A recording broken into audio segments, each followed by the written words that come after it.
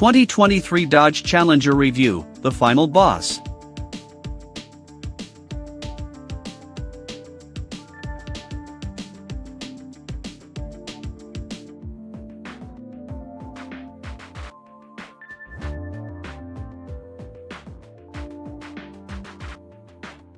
The Dodge Challenger has been the go-to muscle car since 2008, and while competitors such as the Ford Mustang and Chevrolet Camaro have downsized and turbocharged their engines, the Challenger has stuck with big displacement V6 and V8 engines.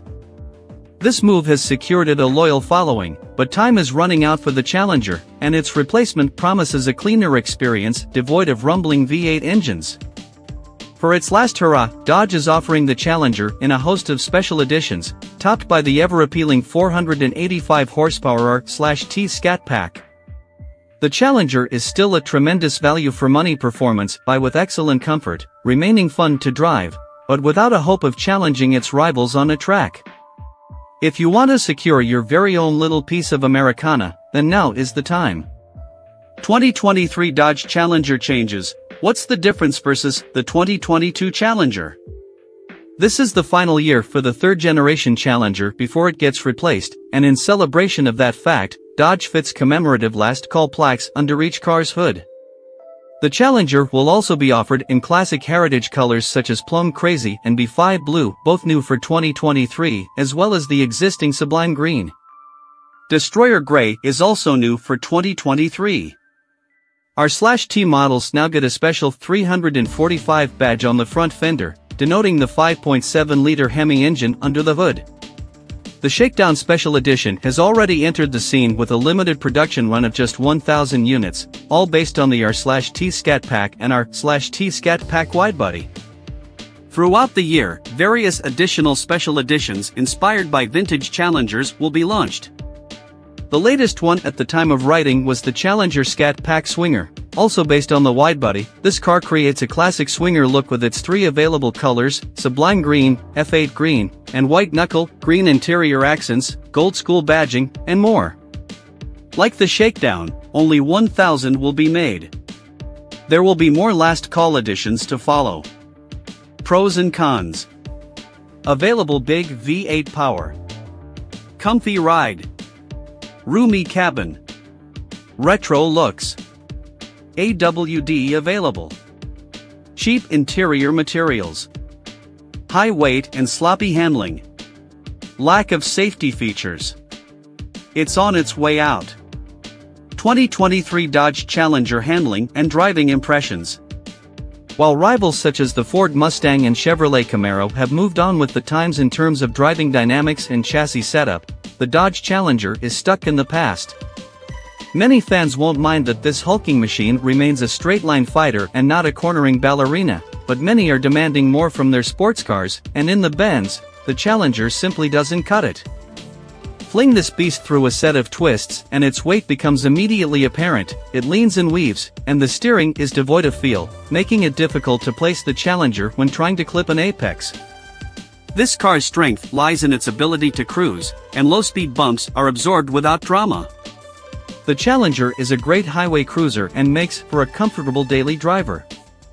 If you want to go fast in a straight line, this is the car for you, but if you want to head to the track, look elsewhere.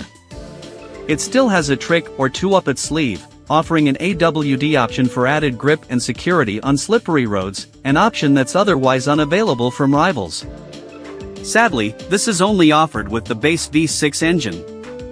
Verdict, is the 2023 Dodge Challenger a good car? The Challenger Coupe is a car stuck in time.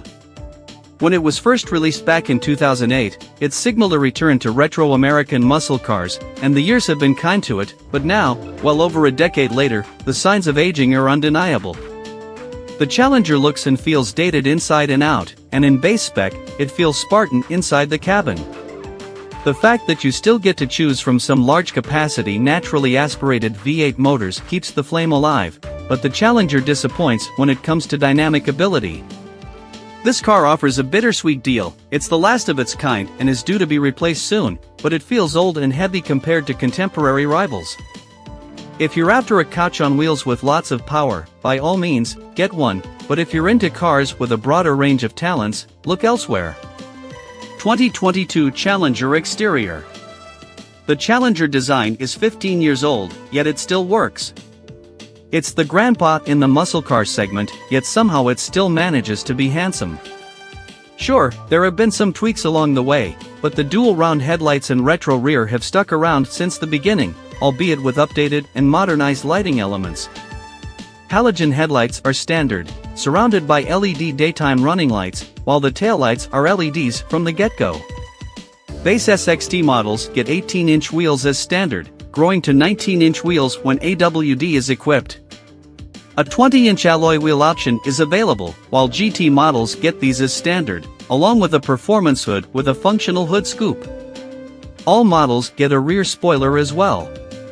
Dimensions the only static measurements across the various configurations are the 116-inch wheelbase, the overall length of 197.9 inches, and the overall width of 85.4 inches with mirrors. Without mirrors, the standard body is 75.7 inches, while the wide body is 78.3 inches. The base SXT weighs 3,841 pounds, with AWD pushing this up to 4,051 pounds. The Challenger GT weighs 3,886 pounds, 4,088 pounds with AWD. The R-T Scat Pack Widebody is the heftiest model in the standard lineup, weighing 4,373 pounds. Exterior Colors One of our favorite things about the Challenger is the available color palette. It's proof that the people behind the scenes had a sense of fun and whimsy. And when people have fun doing something, it usually results in a good product.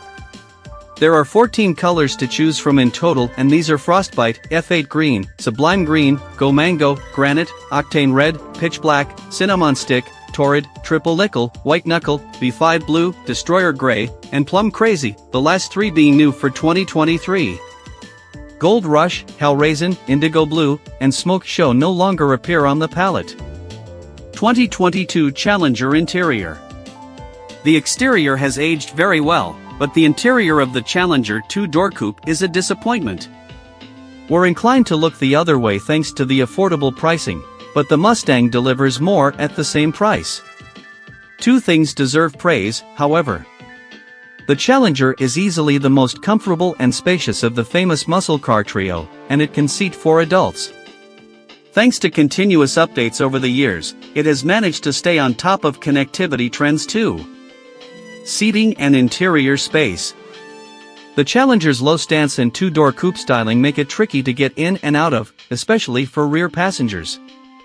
Its doors open wide, but they are heavy. The front legroom, 42 inches, takes up most of the interior space, but the 33.1 inches of rear legroom isn't that bad.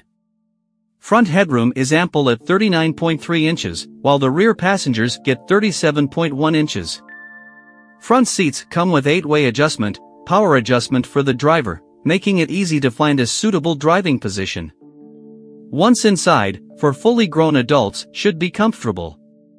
This is one of the Dodge's unique selling points in comparison to its direct rivals. However, it's not an easy car to see out of due to the expansive rear pillars and the small rear window. Unfortunately, there's no blind spot monitoring to help out in tricky situations, so you'll have to depend on the backup camera, at least rear parking sensors are standard on the GT and up. Interior colors and materials. The interior looks and feels cheap, but it is screwed together properly. Dodge dresses the interior in houndstooth cloth as standard. This even includes the top-end Super Stock, which we review separately. On high-performance models, you get additional side bolstering to keep yourself in place. To get Nappa leather seats, you need to add the Plus package at an additional $3,095 and the Driver Convenience Group at $1,480. These add a lot of interior kit, as well as better, higher quality sports seats. There are three color options available, black, black slash ruby red, and black slash caramel. Adding Nappa slash Alcantara to the R slash T Scat Pack and Widebody requires additional packages to the value of around $7,500.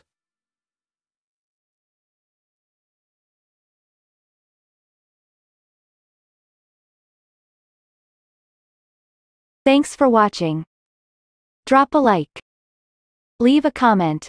And don't forget to subscribe to watch more videos like this.